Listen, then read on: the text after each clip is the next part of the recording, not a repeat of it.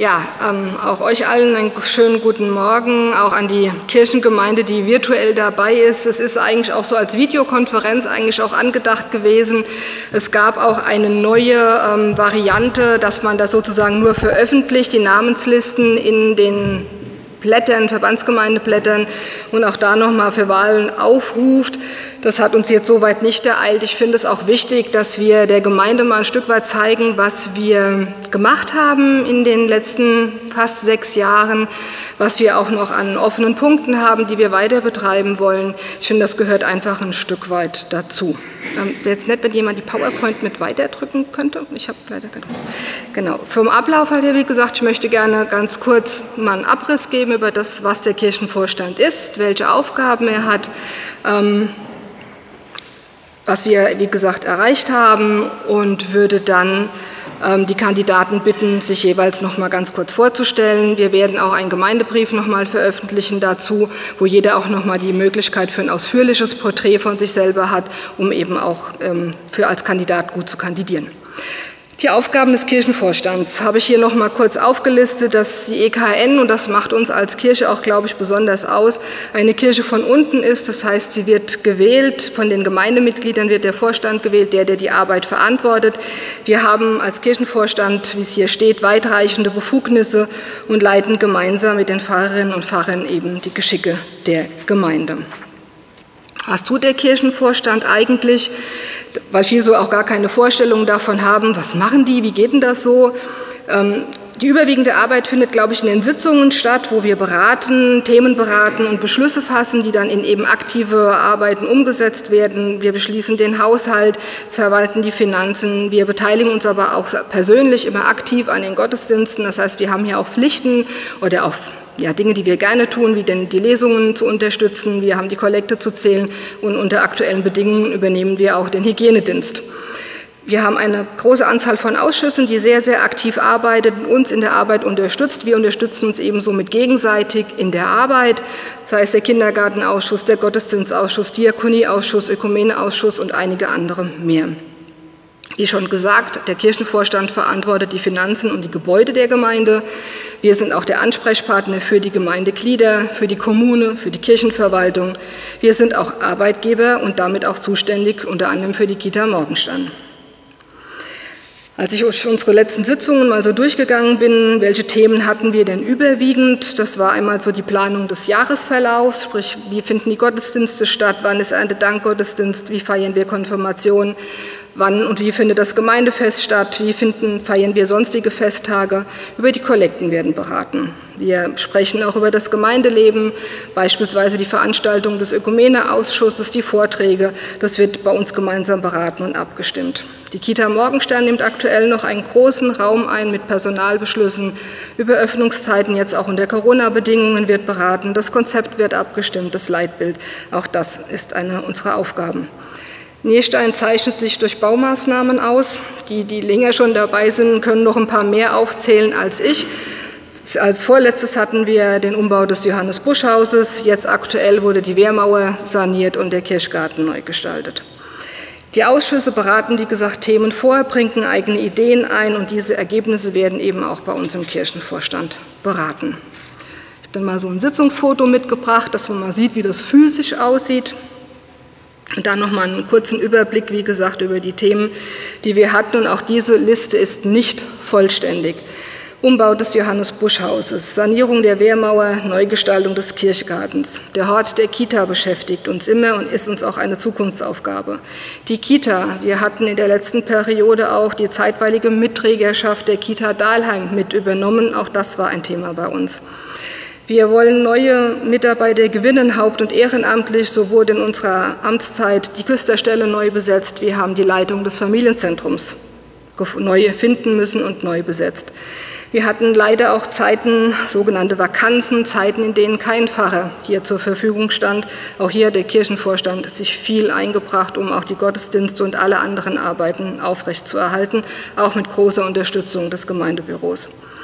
Die Stille Hilfe, Stille Not wurde neu aufgebaut. Das Familienzentrum wurde mit unter der neuen Leitung begleitet.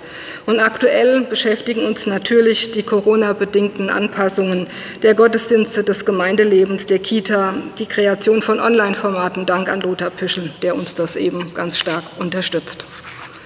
Auch da nochmal ein paar Bilder. Oben Johannes Buschhaus, unten Wehrmauer und Kirschgarten, einfach um nochmal einen kurzen Eindruck zu haben. Da gibt es auch noch mehr Bilder auf der Homepage. Was uns aktuell noch bewegt, es wird auch da keine abschließende Liste sein, auch neue Aufgaben werden uns wieder erreichen.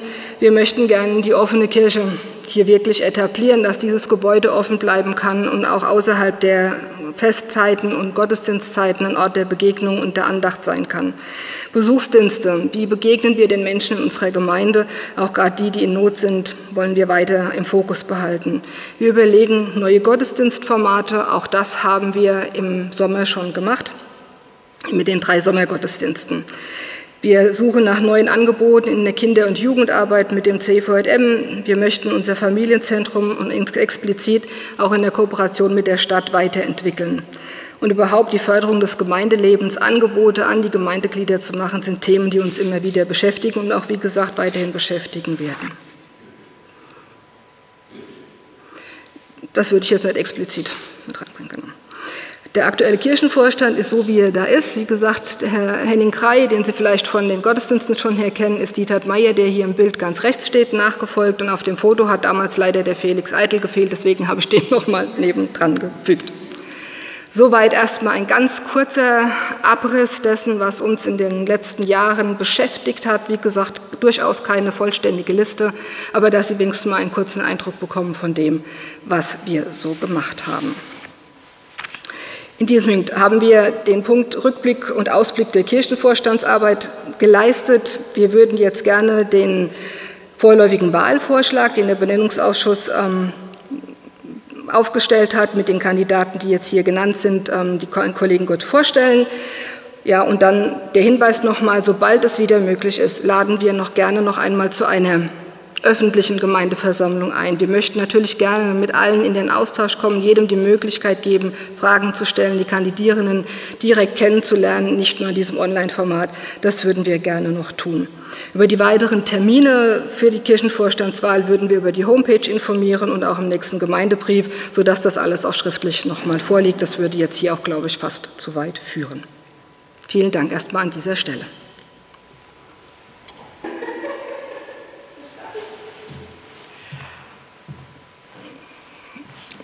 Mein Name ist Sabine Bachmann-Pilz. Ich bin 52 Jahre alt, verheiratet, habe zwei Kinder, bin zurzeit als Projektkoordinatorin bei einer deutschen Großbank in Frankfurt angestellt und jetzt seit acht Jahren im Kirchenvorstand aktiv. Die letzten Jahre als Vorsitzende, daher werden mich einige wahrscheinlich hoffentlich kennen.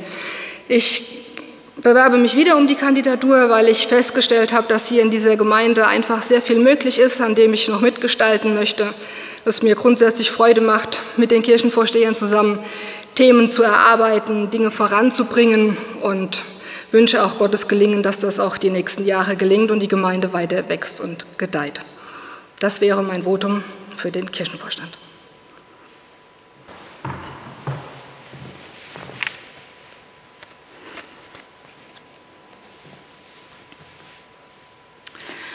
Schönen guten Tag. Mein Name ist Alexandra Behrendt. Ich bin 46 Jahre alt und verheiratet. Ähm, mein Beruf ist Feuerwehrbeamtin bei der Stadt Frankfurt am Main und ich bin seit einer Wahlperiode im Kirchenvorstand dabei. Im alten Kirchenvorstand hat mir immer sehr gefallen, dass wir gemeinsam zusammengearbeitet haben und auch ein gemeinsames Ziel hatten, unsere Kirchengemeinde. Wenn ich wiedergewählt werden würde, würde ich mich im Bereich offene Kirche, Bibelgarten, Musikausschuss und Bauausschuss engagieren wollen. Die konstruktive Zusammenarbeit und das Erreichte hat mich motiviert, erneut bei der Wahl anzutreten.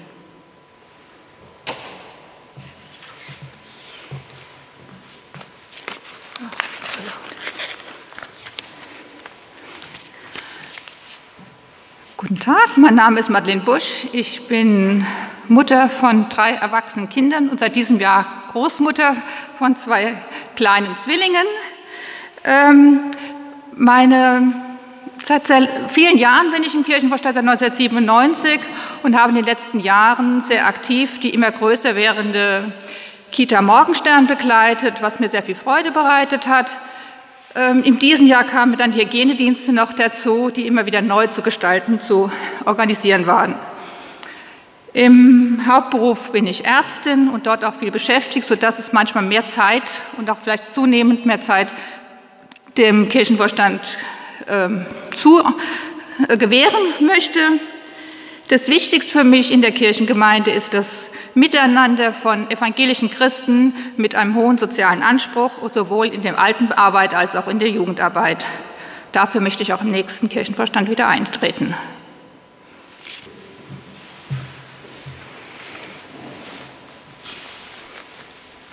Mein Name ist Eva Maria Günther. Ich bin 57 Jahre alt, verheiratet, habe drei erwachsene Kinder. Im, von meiner Ausbildung her bin ich Gemeindepädagogin, arbeite derzeit als Lehrerin an einer Grund- und Realschule Plus. Ich bin seit der letzten Periode im Kirchenvorstand tätig und muss sagen, diese Arbeit macht wirklich viel Spaß. Man kann viel gestalten und ich würde es gern weiter tun. Ich bin außerdem schon lange Zeit Predikantin in unserer Kirche und deshalb liegt mir Gottesdienst und gottesdienstliche Arbeit besonders am Herzen. Mein Anliegen, Hauptanliegen ist eigentlich, ich würde es überschreiben, das geistliche Leben in unserer Gemeinde. Was mir Freude macht, sind Gottesdienste in anderer Form, anderer Gestalt vorzubereiten, sei es Weltgebetstag, sei es Gründonnerstag, Buß- und Bettag, was auch immer. Ich, mir sind wichtig kleine Gruppen, die sich in der Gemeinde treffen, um Christsein zu praktizieren, seien es Hauskreise, Gebetsfrühstück, äh, Formate in der Fastenzeit oder in der Adventszeit. Ich würde mich gerne in der nächsten Periode im Bereich offene Kirche mit engagieren und eben im Bereich geistliches Leben. Wobei mir auch die Angebote für Kinder sehr am Herzen liegen, seien es Kinderbibeltage, Kinderkirchen, auch in verschiedener Form. Dazu sollten wir die Ökumene nicht aus dem Blick verlieren. Auch das ist mir ein großes Anliegen.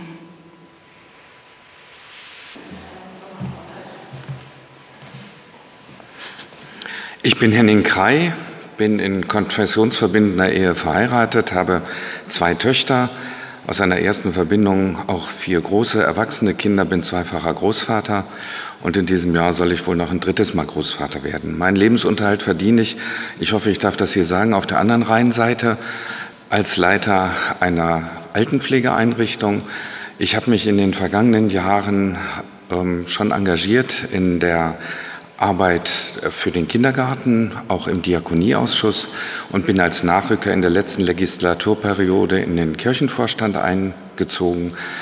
Ähm, ich mache auch als Predikant Gottesdienste in äh, dieser Kirche und ähm, singe im Martinschor mit und damit sind so im Wesentlichen auch die Schwerpunkte umrissen, die ich sehe und die ich auch in der nächsten Legislaturperiode gerne mitgestalten würde, wenn mir das entsprechende Vertrauen ausgesprochen wird.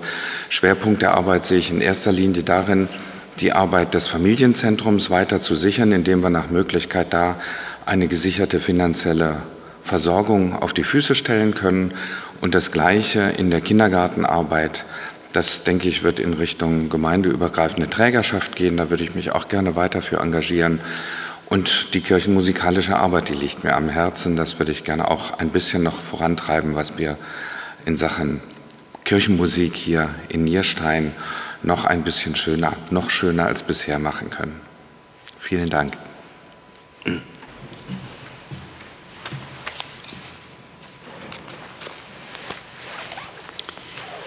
Ja, mein Name ist Monika Meyer. Ich bin 65 Jahre alt, lebe jetzt seit mehr als 40 Jahren hier in Nierstein, habe zwei erwachsene Kinder, einen Sohn, eine Tochter und bin mit großer Freude auch zweifache Großmutter. In meinem beruflichen Leben war ich ursprünglich Zahnarzthelferin, habe aber in den letzten 15 Jahren meines Berufslebens als Sekretärin in zwei unterschiedlichen Banken in Mainz gearbeitet.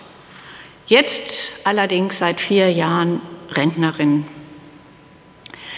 2015 habe ich zum ersten Mal für den Kirchenvorstand kandidiert und damals hatte ich als Schwerpunkt Gestaltung lebendigen Gemeindelebens und Gottesdienstgestaltung genannt. Und durch das entstandene Projekt äh, Offene Kirche sind das auch weiterhin meine Schwerpunkte. Oder da würde ich auch weiterhin gerne meine Schwerpunkte setzen. Menschen mit Kirche in Verbindung zu bringen, Kirche im Alltag zu erleben und erlebbar zu machen, das ist mir ein Anliegen und dafür möchte ich mich auch gerne, falls ich wiedergewählt werde, einsetzen. Vielen Dank.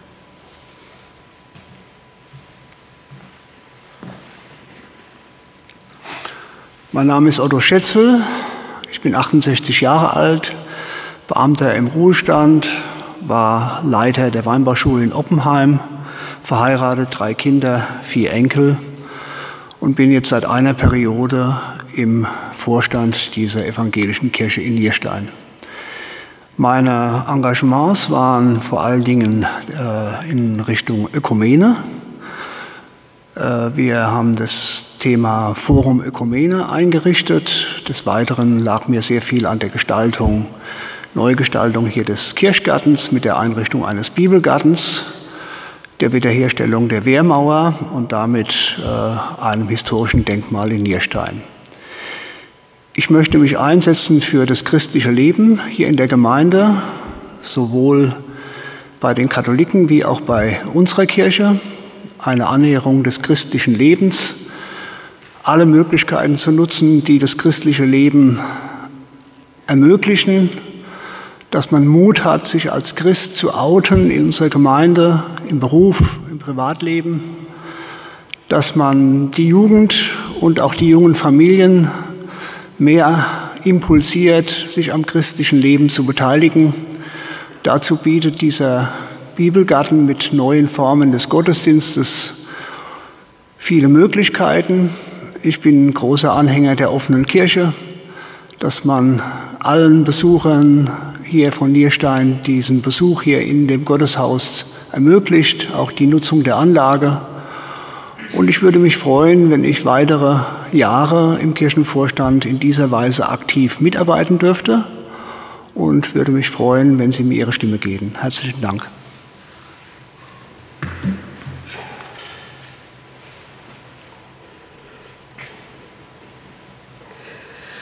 Mein Name ist Bärbel Schmidt. Ich bin 61 Jahre alt. Ich habe zwei erwachsene Töchter, die nicht mehr zu Hause wohnen. Beruflich ähm, unterrichte ich Querflöte in der Musikschule Kirchambulanten und zwar in Teilzeit. Ähm, in den vergangenen Jahren habe ich mich schon im Ökumeneausschuss eingebracht und die Ökumene ist auch überhaupt ein Feld, das mir sehr am Herzen liegt. Ich habe zusammen mit Otto Schätzel haben wir die Reihe Forum Ökumene, das im Wesentlichen eine Vortragsreihe ist, wo theologische Themen, aber auch gesellschaftspolitische Fragen erörtert werden sollen. Das haben wir praktisch auf den Weg gebracht und äh, in dem Bereich würde ich mich auch gerne weiterhin einsetzen. Ich habe vorher noch nicht im Kirchenvorstand gearbeitet, aber ich würde das gerne tun, mich einbringen. Ähm, ich könnte mir auch vorstellen, dass ich zusätzlich noch im Musikausschuss mitarbeite, weil einfach die Musik mir auch eine Herzensangelegenheit ist. Vielen Dank.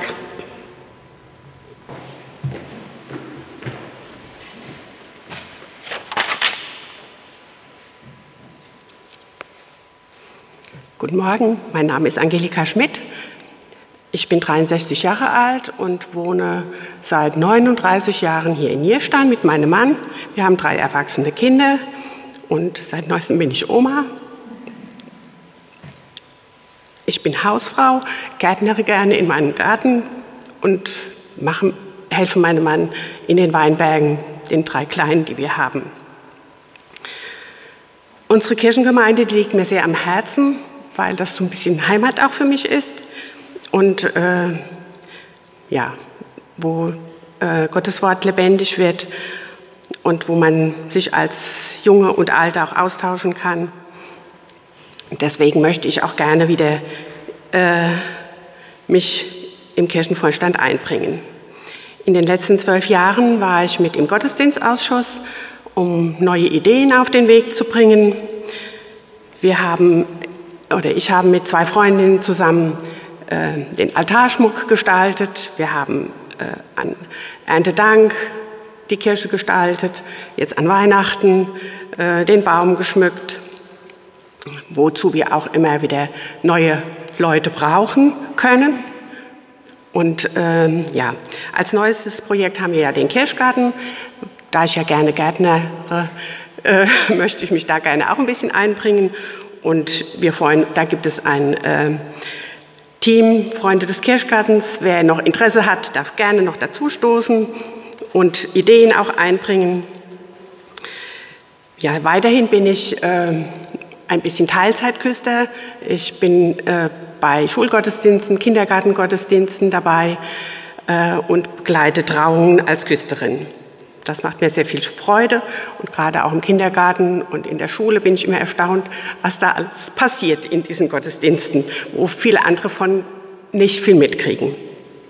Ja, was mir immer gut gefallen hat, war das Miteinander im äh, Kirchenvorstand, im KV und ähm, ja, von daher hätte ich Lust, noch mal eine Periode weiterzumachen.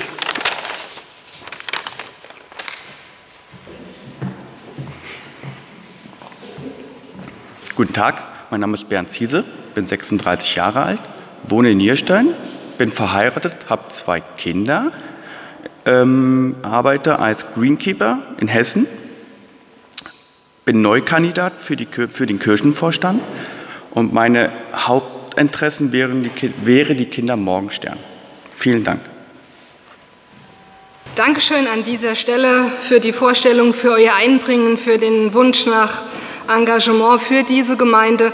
Die beiden Kandidaten, die wir schon gewonnen haben, die heute nicht hier sein können, reichen wir dann nach. Die werden wir dann sozusagen privat besuchen und ähm, für den, die Kandidatenkür hier nochmal präsentieren. Ich wünsche allen ein gesegnetes Wochenende, gutes Gelingen. Und im Übrigen, ja, ich kriege noch einen Hinweis. Ähm, wir haben, weil wir ja jetzt keine Gottesdienste feiern konnten über Weihnachten, den Jahreswechsel, uns entschlossen, einen Brief, einen Segensgruß mit der Jahreslosung an alle Haushalte zu verteilen. Wir haben ein kurzes Grußwort dran, es ist die Jahreslosung abgebildet, Pfarrerin Berg hat einen Text dazu geschrieben. Er wird in alle Haushalte verteilt und ich wünsche allen auch damit verbunden Gottes Segen für dieses neue Jahr und in der Hoffnung, dass uns Corona nicht mehr so bestimmt, weil es, wie Sie sich denken können, auch unsere Arbeit hier extrem beeinflusst hat. Viele Dinge, die wir machen wollten, wo wir Ideen hatten, die wir dann doch wieder absagen mussten. Man sehe schon jetzt im Gemeindebrief, die Allianz Gebetswoche ist angesagt. So wie sie geplant war, wird sie sicher nicht stattfinden und viele andere Sachen vielleicht auch nicht. Aber wir bleiben dran im Interesse von uns allen.